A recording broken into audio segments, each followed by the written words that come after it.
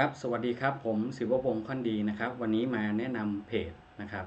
ไทย BPM ใน YouTube นะครับ ที่เป็นเพจแชร์เรื่องราวเกี่ยวกับเรื่องของการพัฒนากระบวนการด้วยแนวคิด Lean และ Six Sigma นะครับ วันนี้นะครับก็อยากจะฝากเพื่อนๆนะครับ เข้าไปกด Subscribe นะครับในการที่จะติดตามคลิปวิดีโอต่างๆนะครับที่เราได้ทำขึ้นมานะครับ เพราะว่า ข้อมูลเหล่านี้นะครับเป็นประสบการณ์ที่ผมเองนะครับได้ไปทำงานมาแล้วก็มีการนำมาทำเป็นคลิปวิดีโอเข้าใจแบบง่าย ๆนะครับ ยังไงก็ฝากเพื่อนๆช่วยติดตามกันด้วยนะครับ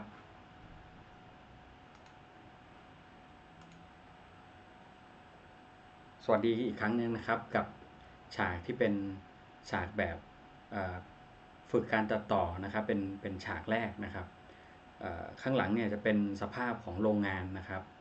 ที่ผมเคยเล่าให้ฟังว่าเป็นโรงงานผลิตเฟอร์นิเจอร์แบบ built-in นะครับ ที่จังหวัดลบบุรีนะครับ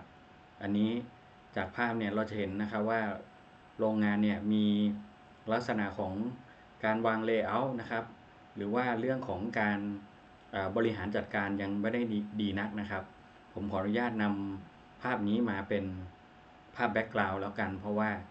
รู้สึกประทับใจนะครับในการที่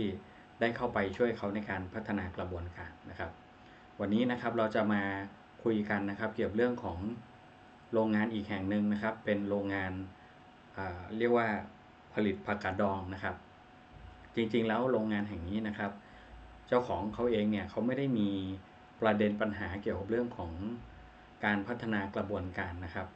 แต่ว่าเขาเองต้องการที่จะเติบโตนะครับ ต้องการที่จะเพิ่มยอดขายนะครับ ซึ่งในอดีตเนี่ยเขาเองขายดีอยู่แล้วนะครับ แล้วก็มีการส่งออกต่างประเทศด้วยนะครับ แต่ว่าที่เขามาปรึกษาเพราะว่าเขาต้องการที่จะเพิ่มเรียกว่ากำลังการผลิตให้สอดคล้องกับการตลาดที่เขาได้ไปทำเพิ่มเติมนะครับ เพราะว่าคาดการว่าในอนาคตเนี่ยจะมียอดขายเข้ามา 2-3 เท่าตัวเลยนะครับ อันนี้ต้องยอมรับนะครับว่าการตลาดของโรงงานแห่งนี้นะครับทำงานได้เขาเรียกว่ามีประสิทธิภาพมากๆเลย ไม่งั้นเนี่ยจะไม่ค่อยเจอปัญหาว่ากำลังการผลิตไม่พอนะครับ ซึ่งพอการตลาดดีนะครับกำลังการผลิตก็ต้องเพิ่มตามการตลาดไปด้วยนะครับ โรงงานแห่งนี้เขาก็มาปรึกษาเกี่ยวกับเรื่องของทำอย่างไรที่เราจะเพิ่มกำลังการผลิตนะครับ อันนี้เป็นโจทย์ง่าย ๆนะครับ ที่ทางโรงงานผักกระดองเนี่ยเขาได้มอบหมายให้ผมเนี่ยได้มาช่วยคิดวิเคราะห์นะครับ ซึ่งในตอนนั้นเนี่ยที่ได้เข้าไปรู้จักกระบวนการนะครับ เป็นครั้งแรกเลย เพราะว่าเราเองก็ไม่ได้ทราบว่าการผลิตผักกาดดองเนี่ยสามารถที่จะผลิตอย่างไรบ้างนะครับ กระบวนการเป็นอย่างไรบ้าง เราเองก็ไม่ทราบนะครับ ซึ่งตอนนั้นเนี่ย ได้มีโอกาสในการที่จะไปดูกระบวนการนะครับ แล้วก็เริ่มทำความเข้าใจนะครับ หลังจากนั้นเนี่ยสิ่งที่เราพบนะครับก็คือเรื่องของการที่จะเพิ่มกำลังการผลิตเนี่ยจริงๆแล้วอาจจะไม่จำเป็นที่ต้องไปเพิ่มตัวเครื่องจักรในการล้างผักนะครับ เพราะว่าจริง ๆแล้วเนี่ยเราค้นพบว่ากระบวนการที่เป็นคอขวดจะเป็นกระบวนการสุดท้าย ก็คือเรื่องของการแพ็คนะครับ ล้างผักแล้วก็แพ็คลงไปในถุงนะครับ ซึ่งสุดท้ายแล้วนะครับ การที่เราเริ่มต้นด้วยการที่จะเพิ่มกำลังการผลิตในการล้างผัก ที่เป็นกระบวนการแรกนะครับ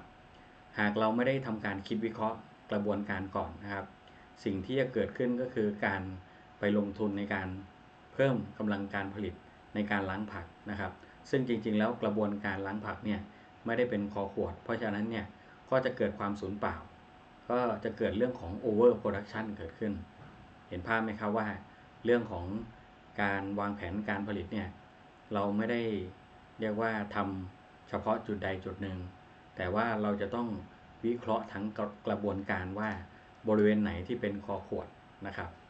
สุดท้ายนะครับเราไม่จำเป็นที่ต้องลงทุนในการไปซื้อเครื่องล้างผักเพิ่มนะครับ แต่เราไปเรียกว่าเพิ่มกำลัง ในการที่จะล้างผักแล้วก็แพ็คลงถุงแล้วก็เป็นกระบวนการสุดท้ายมากกว่านะครับ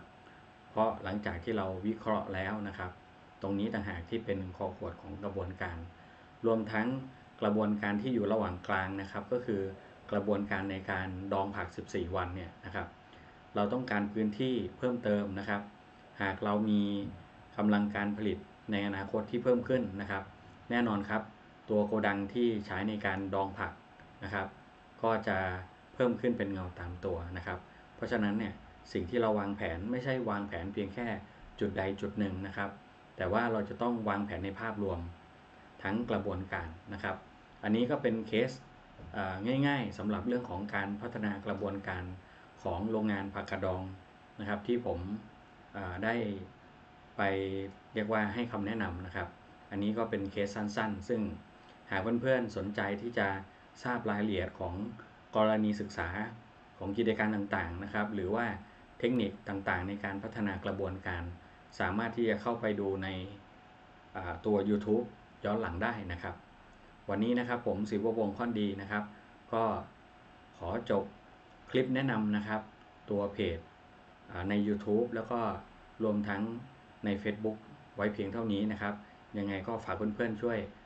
กดไลค์กดแชร์แล้วก็ Subscribe กันด้วยนะครับ สวัสดีครับ